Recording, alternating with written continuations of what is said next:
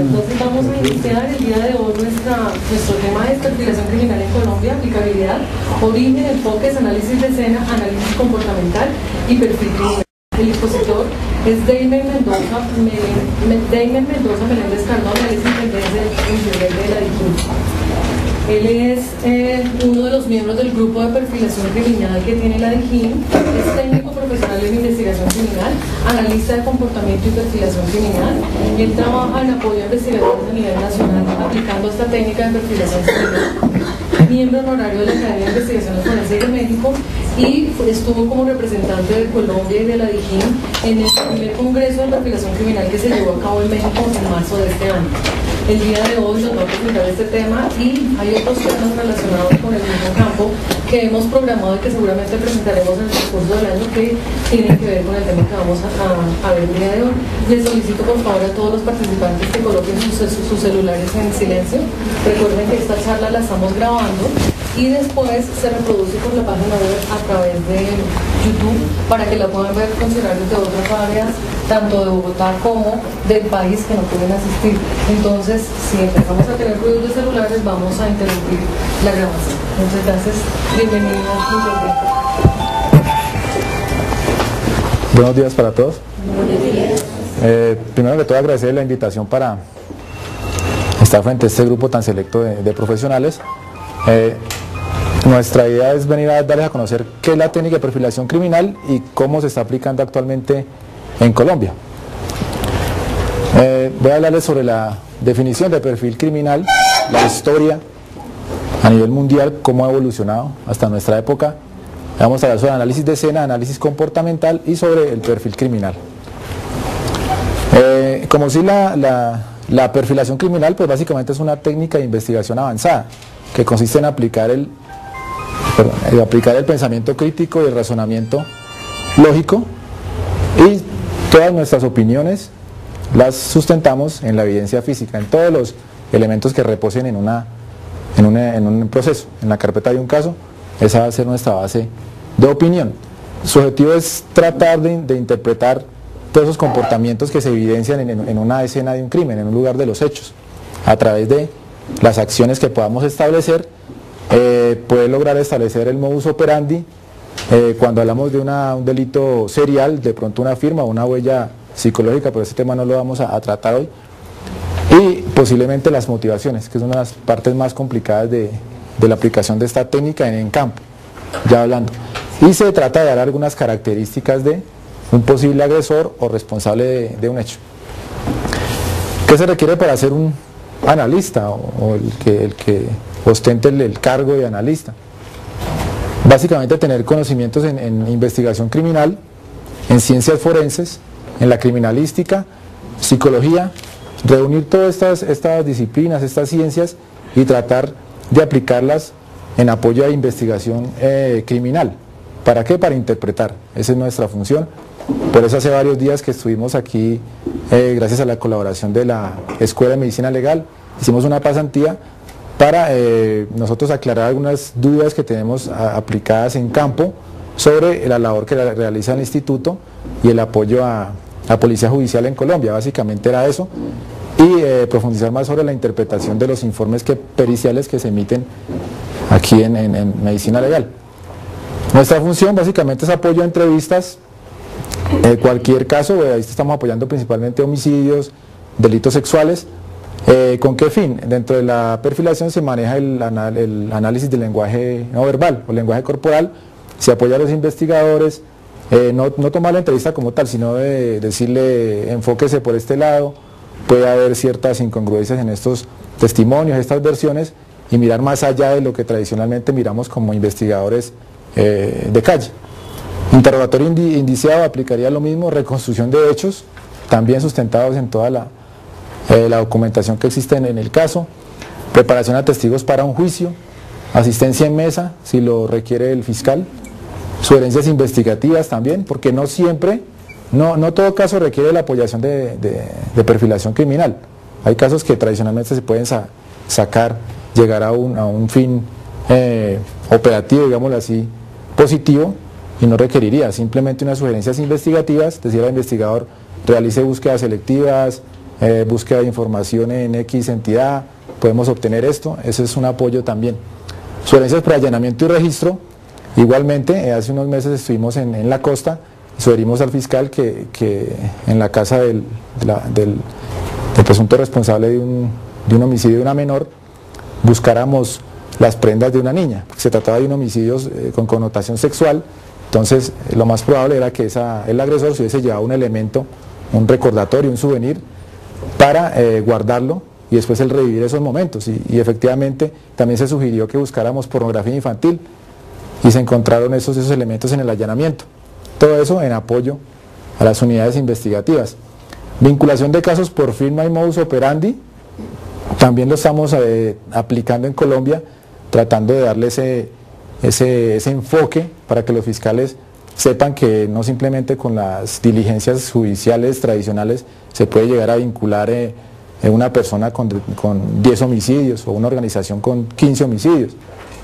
Eh, este año también estuvimos en Ipiales y hemos ya eh, apoyado en este aspecto, caso de 15 personas que, fueron asesinadas el año pasado y se hizo la vinculación por esos aspectos, el aspecto del ritual, todos esos, comportamientos que, realizan esos grupos delictivos o esas personas de forma particular también van a exhibir o se van a mostrar en la escena y eso es lo que tratamos nosotros de interpretar y decirle a un fiscal, vea que estos 15 casos eh, están relacionados por estos aspectos, se analizan todos y presentamos un informe sustentando nuestras opiniones, pero lógicamente con, con los elementos que existan, la evidencia o elemento material. Ya entramos directamente a la historia de la perfilación. Eh, empezar por decirles que este señor Sir Arthur Conan Doyle, a través de su personaje de Sherlock Holmes, él empezó, él es médico, era médico, entonces empezó a tomar todo lo que él observó de esas eh, escenas de, un crimen, un lugar de los hechos, y empezó a hacer análisis y aplicar su, su conocimiento y él creó o ese término que se llama la evidencia inferida. Entonces él decía que si nosotros nos paramos en determinado sitio y miramos eh, cómo está la posición de los elementos encontrados, la posición de un cuerpo, eh, mirando eso consensuadamente podemos establecer una dinámica de los hechos. Es, decir, llegar a establecer o hacer una reconstrucción de eventos, decía él, de eventos. Luego lo aplicaba a delitos a través de su personaje de Sherlock Holmes que él deducía cosas con la pipa y empezaba a deducir. Y ese, ese modelo eh, sirvió mucho para aplicar en campo. Sherlock Holmes. Aparece César Lombroso también con, eh, como un intento de, establecer si, las características físicas de una persona puedan incidir en la, en la, en la delincuencia. Entonces empezó a tomar medidas de cráneos, de partes y decía, eh, pues, si la persona tiene X características en su cráneo, entonces lo podemos catalogar como un delincuente nato, un, demente, un criminaloide. Empezó a sacar esos términos tratando de apoyar eh, investigaciones. Las tipologías de Kressmer, señor alemán, lo mismo, a través de características físicas, él decía que, por ejemplo, el leptosomático, eh, que una persona delgada, eh, alta, entonces tiende a cometer X delito. Si yo soy bajito, eh, si soy gordo, entonces tiendo a cometer estos delitos. Ese era básicamente el estudio de este señor. Ya aparece el doctor George Phillips, realiza un estudio y lo denomina método modelo herida. Decía que las características de un posible agresor se puedan establecer de acuerdo al análisis de los tipos de las heridas en las víctimas. De acuerdo a este señor eh, George Phillips, en el año de 1888 al 91 aparece el señor Thomas Bond. El siguiente. ¿Por qué? Resulta que en esta época en Whitechapel, en, Londres, aparece, eh, ocurren homicidios de, prostitutas. Entonces la policía consulta a, Thomas Bond, médico, trabajaba para la policía, a ver qué, conceptos podía o qué características les podía generar esas, porque él era el que hacía las necropsias de, esas mujeres. ¿Cómo podía él apoyar a la policía a través de su experticia, a través de la medicina? Entonces él aplicó esos conceptos de modelo herida, eh, modelo herida perdón, eh, psiquiatría forense y eh, aparece este, este método, primer método de perfilación que lo denominamos evaluación diagnóstica. ¿ya? Eh, y él decía, no, ya que el destripador es una persona de un estrato social X por estas características, el modus operandi es, es este que primero contacta a la, a la prostituta en una calle bien oscura, dentro de su firma se encuentra el piquerismo, que el piquerismo es ese placer por que cortar la piel, rebanar, ver cómo emana la sangre, puede sufrir de esto. Eh, aprovecha que la mujer se está subiendo la falda, inmediatamente se lanza sobre ella, la voltea, le corta con un elemento eh, corto punzante, le, le corta la, garganta, estando ya boca abajo. Todos esos, esos elementos que en, un principio la policía no veía, ya se, le empezaban a abrir esa, ese campo, ese espectro que ellos no veían a simple vista por la investigación tradicional. Entonces les decía, enfóquense por una persona con estas características. Ahí fueron los primeros pinitos de la perfilación criminal como apoyo a la investigación criminal como tal. Eh, ya se estaba eh, eh, acercando esa distancia que, de hecho podría existir actualmente entre el, profesional de determinado campo de la, de la salud con un investigador de la calle. Entonces empezaron a unir esos dos conceptos y llegaron a aplicarlos a investigación criminal. No se llegó a un resultado. Actualmente hay, una investigación que hizo Ben Turby con otro investigador Morris de Nueva York y dicen que ya que el destripador migró a Nueva York y dan una identificación que se llamaba James Kelly, que era un zapatero que cuando migró a Nueva York mató a otras cinco prostitutas y se hace un análisis de vinculación de casos por firma y modus operandi. Desde ese caso empezaron a, aplicar esas técnicas. Eh, luego en 1929 eh, también la policía eh, en Alemania consulta a Karl Berg, un psiquiatra. ¿Por qué? Estaban ocurriendo unos homicidios de, unas mujeres y le pidieron el apoyo a ese, a ese profesional diciéndole qué características podría emitir él de acuerdo a todos los, eh, los elementos recopilados hasta ese momento del caso para que la policía pudiera seguir el caso. Él les da sus, sus opiniones, sus criterios, sus conceptos y la policía logra capturar a Peter Kurten, que se le decían el vampiro de Düsseldorf. En un museo estaba la cabeza, pues ahí la tienen de, adorno. Luego, eh, aplicando esta misma técnica de evaluación diagnóstica, ese método, eh, la, policía, eh, perdón, los servicios estratégicos operacionales, que eran, era una oficina que luego pasó a la CIA, consultó al, psiquiatra Walter Lenger, para que hiciera un perfil de Hitler. ¿Cómo podían ellos neutralizar a ese personaje que era el, auge en esa época? Y él efectivamente a través de la observación y análisis, él miraba dos cosas, cómo percibía el, el pueblo de Alemania Hitler, cómo percibía sus colegas, sus militares a Hitler y cómo el mismo Hitler se percibía a sí mismo, cómo se veía él, cómo se proyectaba. Entonces evaluó un perfil, sacó alrededor de 8 puntos y en, eh, casi en el último decía, Hitler al momento de llegar a su clima eh, del conflicto se suicidará. Decía eso. Efectivamente se suicidó. Entonces él saca eh, esas conclusiones a través de esos análisis sin tener la persona o el, paciente in situ, que sea la característica. ¿Ya? Porque antes se hacían los, un diagnóstico de estas personas, pero con la persona aquí como paciente. Yo te miro, yo, yo sé qué estás haciendo. Y estos fueron los, primeros, eh, eh, los primeros esfuerzos para, apoyar unas investigaciones. En el año de 1940 al 50, en Estados Unidos eh, se produjeron muchos atentados con bombas. Principalmente eran en estaciones del metro, en estaciones de los buses y contra una empresa de telefonía la Edison, muchas bombas y dejaban cartas.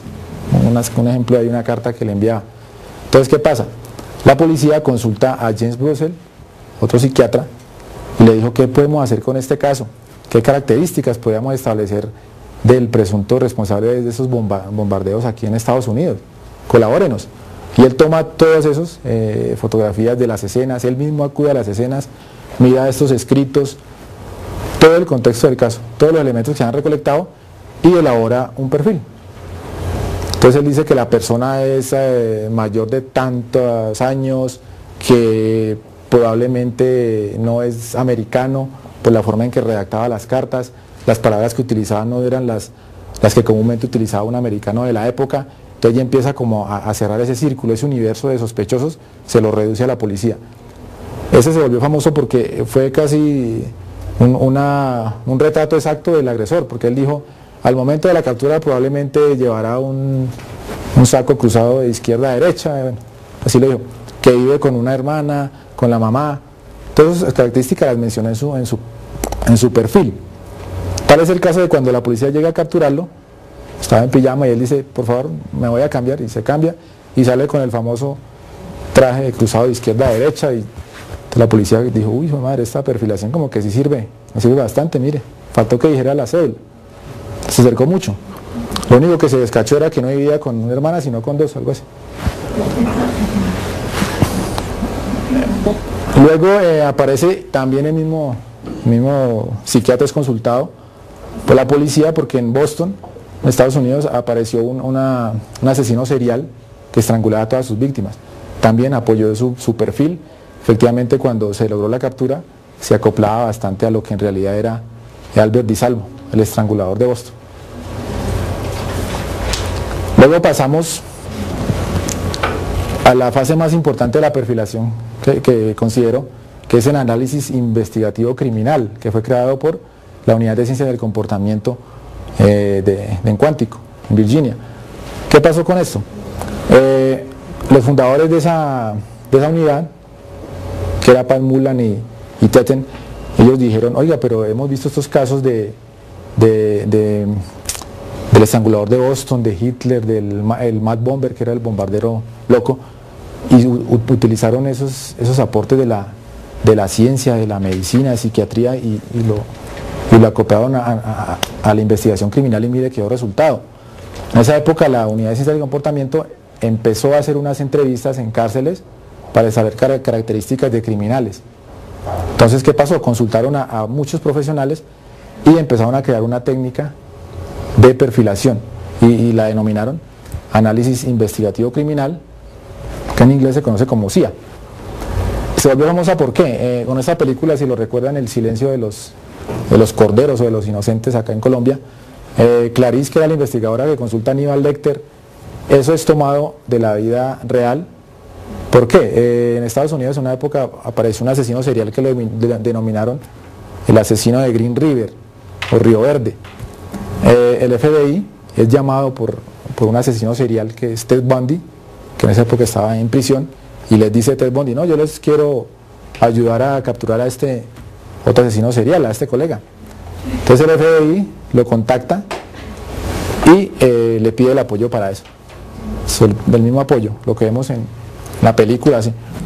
La imagen de Buffalo Bill, que cuando el hombre está haciendo un traje con piel de mujer, también es sacado de un caso el asesino se llamaba Ed Gein, que también colocaba, tenía su, trastorno y, le quitaba la piel a sus víctimas o a cuerpos que él sacaba del cementerio y se estaba haciendo un traje.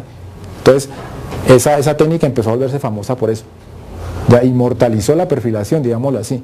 Y aparecen otros personajes como John Douglas, Robert Redler, eh, o sea, la imagen que le venden a uno a través de sus libros o, películas que ellos han apoyado es que el perfilador llega a la escena y, encuentra el cadáver en posición genopectoral. No, el agresor es afrodescendiente de 15 a 28 años.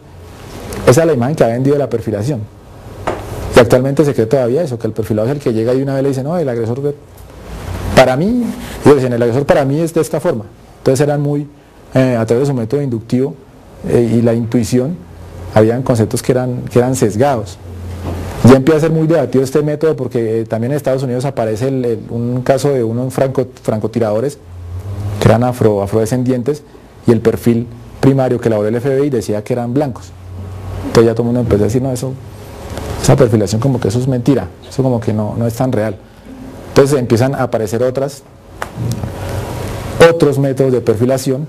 Aparece este señor, un psicólogo eh, ambiental, David Canter, eso es en el Reino Unido, en Inglaterra, él empieza a decir, bueno, los perfiles de los, del FBI son buenos, pero yo creo que es mejor eh, aplicarle más psicología, eh, elaborar unos conceptos ya definidos y lo utilizamos para aplicación a la investigación eh, criminal. Pero ¿cuál va a ser nuestro, nuestros, nuestros principios para eso? Basémonos en la conducta que tiene esa persona en un medio, en su entorno. Entonces empieza a, crear unas, unas, teorías a través de investigaciones que él hace, no con delincuentes eh, en, cárceles condenados, como hizo el FBI en un principio. Entonces empieza a decir, ah, perdón, eh, el FBI a través de sus estudios carcelarios crea unas tipologías de delincuentes, volviendo al CIA. Entonces, ¿qué dice? Eh, los delincuentes a través de los comportamientos sofisticados que, se evidencian en una escena de un crimen, lo podemos categorizar como organizado, desorganizado. Entonces si yo veía una escena muy, eh, muy eh, desordenada, la víctima fue golpeada bruscamente, el asesino dejó el arma en la escena, o de pronto el asesino no llevó el arma a la escena, sino que la consigue ahí mismo, un cuchillo, un palo, y lo deja ahí mismo. Entonces eso, eso me está diciendo que, que el agresor es desordenado. Eso era básicamente lo que hacía. El organizado que lleva su arma, tiene su kit criminal, un violador serial lleva su kit de violador, lleva sus cuerdas, sus esposas. Entonces eso es ordenado. Es como yo percibo que él me dejó una escena, básicamente. También crea esas categorías de asesino serial, del asesino en masa y el asesino spree. Entonces el asesino serial no es porque era una serie de, homicidios, sino que para esa época estaban de moda las series televisivas eh, que lo dejaban usted como en suspenso. Entonces una serie, el capítulo 1. To be continued. Esta historia continuará. Esperar ocho días y otra vez empiezo a mirar esa serie. Entonces me vuelve otra vez el impulso, la emoción. Entonces por eso definieron ese, tema, ese, perdón, ese nombre de asesino serial para eh, aquel, tipo de agresor que, actúa en diferentes periodos de tiempo con periodos de enfriamiento emocional, como, como llaman ellos. Eh, el asesino en masa dicen que es el que mata a más de dos personas en un solo sitio. El asesino spree o el itinerante o, el asesino relámpago que llaman también, es aquel que actúa motivado por un fuerte impulso, de pronto aquella persona que la echaron del trabajo, le echó la mujer, lo llamaron del banco, que las tarjetas lo tienen hasta acá, entonces empieza a acumular muchas emociones negativas hasta que un día explota. Ustedes recuerdan la película de Michael Douglas de Un Día de Furia, ese es un ejemplo muy claro, pero él va, el día que explota va a atacar un objetivo en específico. Entonces mi jefe hoy me trató como lo peor, me echó la, mujer de la casa, entonces mi reacción cuál va a ser, entonces a, los dos días me consigo mi armamento y mi objetivo va a ser atacar al jefe. Y el que se me atraviese en ese objetivo también va a llevar. Entonces traten bien a los empleados, cuando lo saquen, acompáñenlos a la puerta. ¿Ya? No es pegarle la patada, gracias por el servicio, sino que nos serviste mucho y nos vemos luego. Esa es la, la categoría que le dan al spree, ¿ya? El que mata a más de dos personas, pero en distintos lugares sin periodos de, enfriamiento emocional, como llaman ellos. Entonces, aterrizando otra vez con el, con el tema de David Canter, entonces dice, pero todas las teorías del FBI, eh, demostrémoslas. Entonces empezó a hacer entrevistas perdón, empezó a analizar casos, pero las carpeticas, empezó a leer, a leer, a leer, y crea unas teorías, de acuerdo al, movimiento que nosotros tenemos en determinado lugar geográfico. Es la teoría del círculo. Entonces dice que, por ejemplo, en, un delito sexual, en un ejemplo, 10 violaciones en Suba. Entonces él dice que trazando una circunferencia entre los delitos más lejanos, en ese, dentro de ese círculo, eh, lo más probable es que resida el, agresor o que tenga su sitio de trabajo. Esas son las teorías que él maneja. ¿ya? La del merodeador y la del viajero. Entonces el merodeador es aquel asesino que eh, vive en, X parte, eh, viaja, perdón, se desplaza en cortos espacios, mata, pero vuelve. No se sale mucho de su, entorno conocido, no se atreve a romper esa frontera. El viajero es el que sí rompe esa frontera, viaja mucho, regresa. Es categorías, merodeador y el viajero. Entonces más tipologías de, asesinos que él da. Eh, luego aparece otro colaborador, Kim Rosmo. Entonces empiezan a, crear programas para, perfilación geográfica, que ese sería el otro método de perfilación. Entonces empiezan a decir, bueno, si, si yo desde que nazco yo tengo un mapa mapa cognitivo que llaman ellos, eh, es los lugares que yo desde que llego a un sitio empiezo a reconocer. Entonces yo llegué hoy acá a medicina legal, no conozco el, sector, empiezo a caminar, ya me doy cuenta que para este lado no es muy bueno andar solo, para qué es mejor andar solo. Entonces empiezo a reconocer los sitios, ¿ya? Se va elaborando mi mapa mental en una determinada zona geográfica, ¿ya? Eso me ayuda a yo tomar decisiones frente a una acción. Entonces por eso dicen que un violador serial, un asesino serial va a actuar en espacios de, confort, ¿ya? de pronto trasciende. También ha sido muy debatido esos, esos, esas teorías, porque dice que, todo depende de. no podemos hablar de una teoría del, del merodeador, porque yo puedo ir en una ciudad, entonces hay obstáculos, un edificio puede interferir en lo que yo tengo aquí en la cabeza para yo desplazarme. Entonces es muy, muy relativo. Entonces solo se había aplicado en Inglaterra y les dio resultados dentro de sus investigaciones. Entonces el que veíamos anteriormente que era John Duffy, un, asesino serial, Canter empezó a estudiar el caso, mirar su perfil geográfico y dijo, lo más probable es que esta, el agresor reside en esta zona y la marcó. Y preciso ahí se encontró. El agresor fue capturado, por eso fue que tomó tanta relevancia eh, la psicología investigativa como método de perfilación criminal. Uno la considera una subdisciplina de la perfilación criminal, eso es según la, literatura. Eh, luego aparece este señor Brent Turby, quien actualmente es el considerado el mejor perfilador del mundo, porque él dijo, bueno, es que el método inductivo del FBI se basa en estudios de, criminales condenados, pero resulta que esas, los criminales tienden a mentir. O sea que toda esa información que recopiló el, FBI tiende a no tener cierto grado de, veracidad nosotros aplicarlo en campo. Entonces él piensa decir, no, el perfilador como tal, el que se considere analista, debe sustentar sus opiniones periciales en evidencia física, en lo que se encuentre, lo que yo pueda decirle a un juez. Si yo dije que, hubo un movimiento, que el agresor movía, movía, a su víctima de aquí para allá, es porque la foto de la escena me está diciendo que hubo una mancha en patrón, de sangre en patrón de arrastre. Ya es mi sustento. Yo no estoy diciendo es que yo pienso, yo creo. No, a mí lo que me dice la evidencia es esto. Pero resulta que la evidencia tiene varias eh, categorías. Entonces él empieza a decir, eh, existe la evidencia secuencial. ¿Qué me va a decir la secuencia? Por ejemplo aquí, no, secuencial solo. Ahí. Eh, hay unas gotas de sangre, acá unas salpicaduras de, de sangre hay unas gafas encima de esas salpicaduras, pero debajo de la sangre hay las goticas, salpicaduras. Entonces, en un caso de homicidio, la víctima decía una versión, pero se puede contravenir con esto. Bueno, usted dijo esto, que usted ingresó a, tal parte, que no vio nada, pero resulta que esas gafas fueron colocadas después de que las goticas cayeron, o esas salpicaduras se, fijaron en esa superficie. Entonces me está diciendo una secuencia, unos eventos, ¿qué ocurrió primero frente a un segundo evento? La direccional que en esa representación eh, balística me dice, es, de dónde vino hacia dónde va. Entonces si fue inferior superior, posterior anterior, podría ser un ejemplo. También esas categorías, eh, cada, cada evidencia puede ir asociada a varias. Puede ser también secuencial, direccional, puede estar inmersa en varias categorías. Evidencia de ubicación o de localización. Por ejemplo, esto unas livideces cadavéricas, me dicen que en qué posición puede haber quedado la víctima.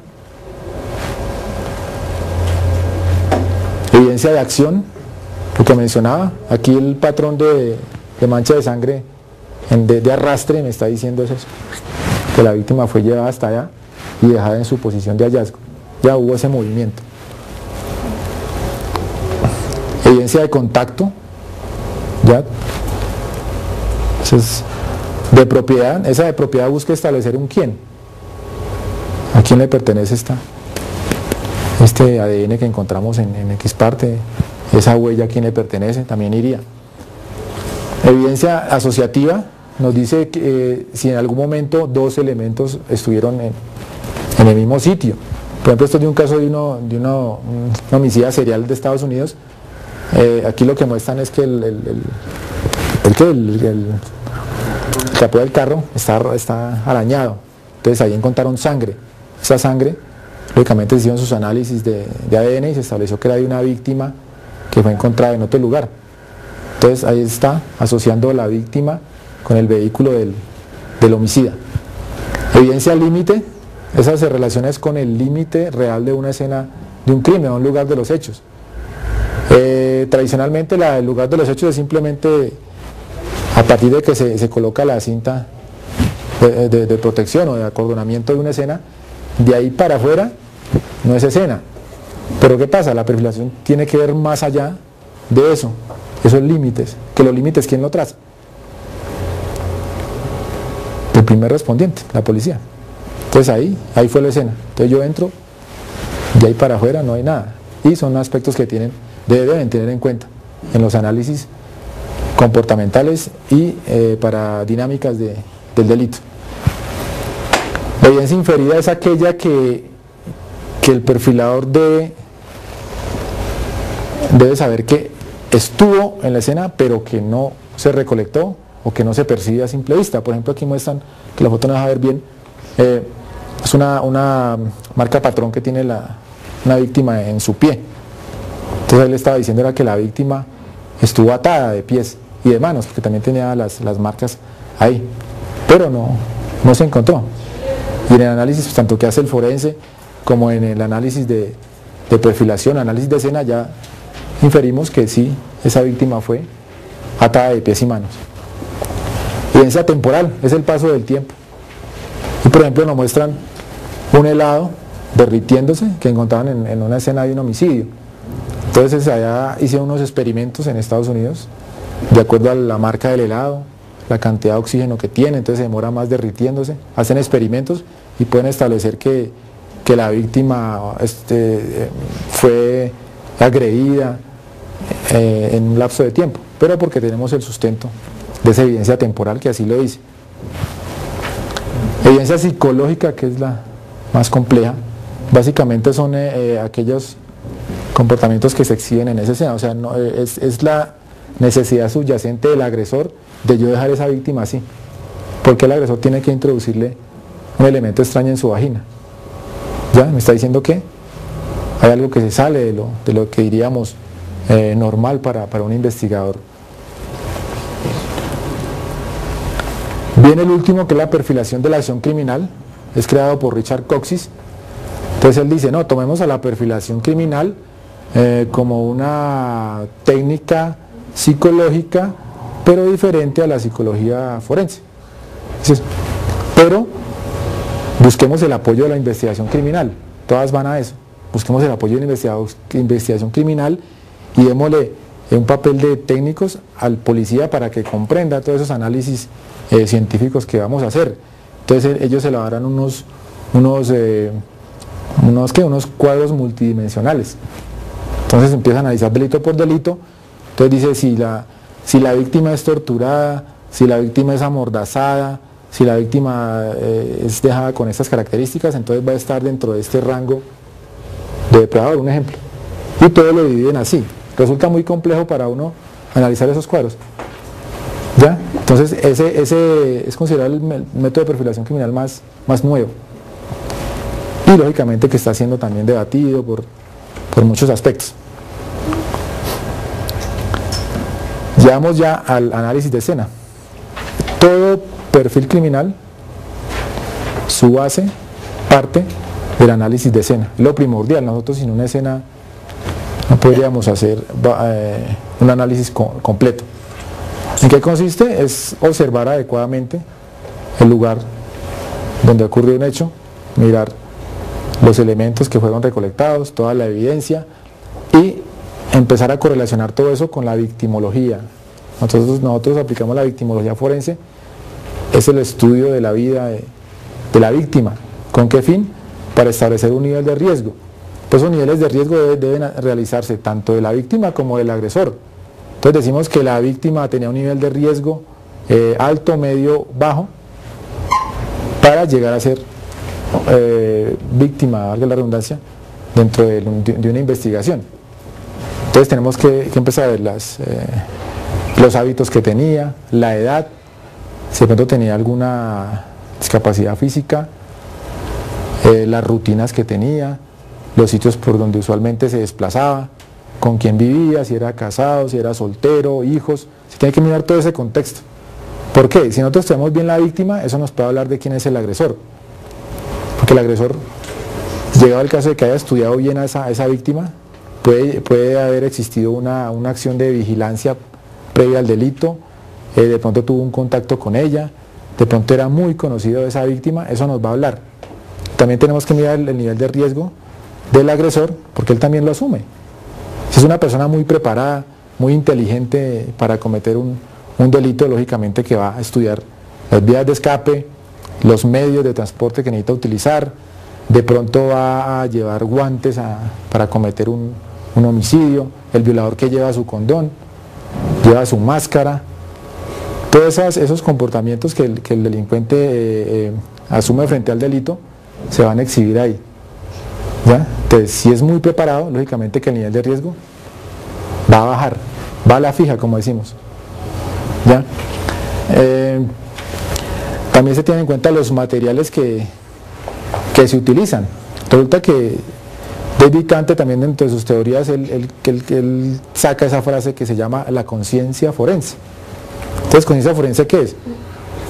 Es la capacidad que tiene el delincuente de, de, percibir o de evitar que vaya a ser detectado por, por las evidencias que dejen en una escena. Entonces, si yo soy un, criminal sofisticado, yo llevo mi, mi traje de bioseguridad, mis guantes y yo no voy a dejar nada porque sé que la policía me puede identificar por eso, puede llegar a mí por, por la evidencia que yo deje. Esa es la conciencia, la conciencia criminal, la conciencia forense, que es la habilidad criminal. Aspectos que deben tener en cuenta, tipo de escena, si es una escena primaria, escena secundaria, sitios de ingreso-salida también. Eh, actualmente estamos haciendo recomendaciones a los laboratorios móviles de criminalística a nivel nacional para que las fotografías sean, sean completas. Tienen la facilidad de que son digitales y les permite pues, almacenar gran cantidad de información, no simplemente las cuatro que se anexan en el álbum fotográfico, sino que todas esas fotos para un análisis deben ser enviadas al, grupo que realiza ese examen. Entonces la foto de la entrada, si estaba forzada, en fin, todos esos elementos nos van a ayudar mucho. Disposición del cuerpo, patrones de manchas de sangre, lo mencionábamos, si son manchas, eh, eh, eh, si son salpicaduras, si son retroproyecciones, si son de lanzamiento, todo eso tiene una categoría especial y las fotografías bien tomadas con su testigo métrico y fijadas ya en un bosquejo nos van a, hablar, nos van a hablar. Las armas utilizadas también, signos de agarre. Un ejemplo para casos de los mal llamados falsos positivos, mirábamos que, que habían víctimas que sus prendas eh, el cuerpo estaba en posición eh, eh, de cúbito dorsal y el pantalón estaba levantado. Entonces, bueno, si, esa persona recibe un impacto con un fusil, disparo, cae, porque ese pantalón está de para arriba. Pues son cosas que se salen de, la lógica y si dicen que nunca lo manipularon y por qué aparece así. Agarres en prendas, en pantalones. Entonces también tienen que mirar eso para establecer una escenificación del delito, que la escenificación es alterar la escena con determinados fines. Dicen que las escenificaciones se dan para autoprotección, o sea, para evitar que sea sospechoso más lógico, entonces cambio todo, y otras que son por vergüenza. Entonces una escenificación de, eh, nos mostraban un caso de la policía en Canadá, eh, la esposa llega, entra a su casa y encuentra a su esposo ahorcado, colgado en la sala y vestido de enfermera. De enfermera a mi falda y entonces la señora que decir, uy, si llamo a la policía y encuentran a mi esposo aquí vestida de enfermera, mi familia, mis hijos, yo qué voy a decir. Entonces, ¿qué hizo? Lo cambia, lo viste y lo organiza. llama a la policía, no es que él hizo esto. Entonces esa, alteración de la escena es por vergüenza. Elementos de restricción es muy importante. Em, el caso de que les comentaba Ipiales, estas era un grupo delictivo. Ellos siempre, eh, entonces que encontramos la, escena, ¿no? Estaban los, los cuerpos dejados en lugares abiertos, despoblados, zona rural, pero su mayoría atados de, pies y manos. Entonces decíamos, bueno, este, empezamos a mirar los zapatos. Estos zapatos son de cordón y los cuerpos fueron hallados con las manos atadas con los cordones. Y los que no estaban atados era porque los zapatos no llevaban cordones. Nos, hablaba mucho de la planeación para el delito. ¿Con qué elementos voy a ir yo a cometer este delito? ¿Será que me llevo las cuerdas o espero que, la víctima me lleve todo? Entonces mirar, miramos todos esos aspectos, elementos de restricción. Si hay, eh, Estados Unidos maneja mucho el término del bondage, que es como la esclavitud sexual, son ataduras que evidencian ese comportamiento sexual del agresor frente a su víctima. Son sistemáticos. Un caso que estamos mirando también en la, en la costa, eh, las víctimas eran dejadas en posición sedente, estoy hablando de 20 homicidios, posición sedente, contra un árbol y una cuerda atada del cuello hasta los pies. Eh, solamente uno de ellos tenía un golpe acá en el occipital. No los maltrataba, digámoslo así. No les cubría el rostro, tenían muchas características similares. Entonces ya nos hablaba de, un patrón. Pero, ¿por qué las deja así sentadas? O las dejaba sentadas. Esa persona fue capturada. Entonces el paso siguiente es llegar más allá de ese simple análisis de esas escenas y llegar a establecer por qué esa persona no podía irse de la escena sin dejarlo atado. ¿Por qué asume ese, ese comportamiento frente a su víctima? Eh, la posición del cabello también me va a decir si hubo movimiento, eh, los cordones. Una persona normal cuando se va a atar un zapato, pues, nos agachamos o yo levanto el pie. Entonces ese, nudo puede quedar contra mí, perdón, hacia mí. Ya, pero si yo le amarro los zapatos a una persona, el nudo en su mayoría queda hacia afuera. Lastimosamente en, en los laboratorios de criminalística les faltan tomar todas esas fotografías que a nosotros sí nos serviría mucho para decir si hubo una manipulación de un cuerpo, si fue vestido, si fue revestido. Todas esas circunstancias deben ser tenidas en cuenta. Se realizan experimentaciones, por ejemplo, este, realización de disparos con, pistola para saber los patrones de, expulsión de vainillas. ¿Para qué? Simplemente, un caso de homicidio de, un, policía. Entonces decía, no, es que yo estaba aquí disparando en esta posición y, la, víctima estaba a 10 metros. Entonces al hacer la reconstrucción de esos hechos, eh, nos dábamos cuenta de que, bueno, él está aquí parado, pero todas las vainillas fueron encontradas allá, a esa distancia. Y los experimentos que se hacen con el mismo tipo de arma, con la misma eh, lote de munición, digámoslo así, nos dice que estas vainillas caen en esa posición. Entonces, ¿qué pensaríamos? Para confrontar eso con una versión. Análisis comportamental es interpretar básicamente todo lo que se ha observado en la escena. Eso tiene unos principios. Primero de ellos es la unicidad. Entonces la unicidad dice que cada persona se, desarrolla de manera distinta a otra, de acuerdo a su medio. Entonces todos crecemos, puede ser el mismo medio, pero yo me desarrollo distinto a X persona. Yo soy distinto a mi hermano, en fin, cambiamos. Eh, el principio de la, de la separación dice que cada individuo percibe el dolor y el placer de manera distinta. Pues para mí el dolor, ¿cómo lo puedo yo describir? Pero resulta que ese sádico sexual lo que le gusta es eso, causarle dolor a otra persona. Dinámica comportal, evaluación comportamental, multideterminación, dinámica motivacional, variedad conductual. ¿Eso qué nos está diciendo? Eh, pueden existir comportamientos similares, pero con significados diferentes. comparemos el caso de Andrei Chikatilo, de la Unión Soviética, con, con Luis Alfredo Garavito. Uno empieza a mirar los casos al principio se, parece, le parecen mucho, bueno, que eran, eh, infantes, eh, que hay como cierto grado de piquerismo, que en fin, pero ¿cuál es el significado que tiene para cada uno de ellos? ¿Ya? Es, es distinto. ¿Por qué Garavito empezó a matar? ¿Por qué Chikatilo empezó a matar? Eh, consecuencias imprevistas o no deseadas. No todas no, no todos, pero los comportamientos que, veamos en una escena o que se exhiban en una escena o en un lugar de los hechos no son producto del delincuente. Entonces ahí aplicaríamos la fauna cadavérica. Entonces mirando fotografías de un homicidio, entonces por eso parece un orificio de entrada de un proyectil de arma de fuego.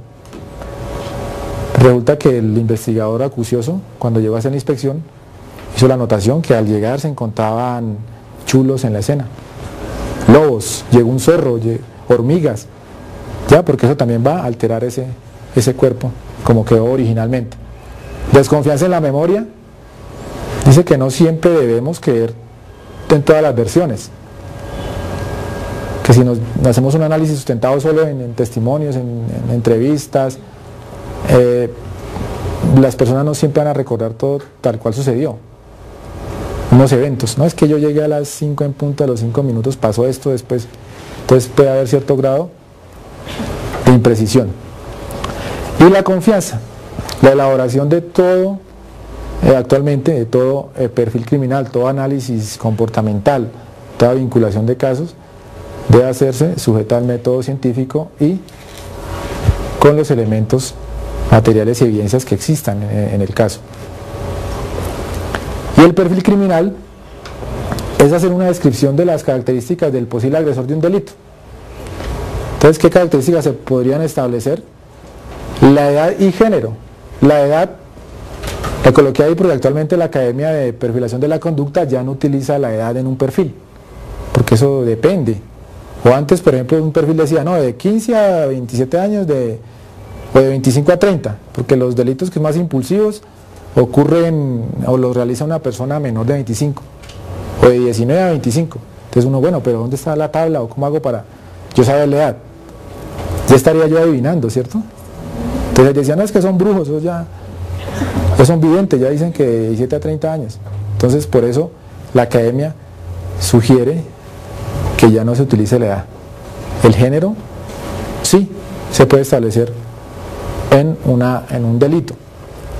La historia legal antecedentes nos da, ¿de dónde la establecemos? Pues de la misma dinámica o la habilidad criminal que, logramos, que logremos establecer en la comisión de, un, de un homicidio, por ejemplo.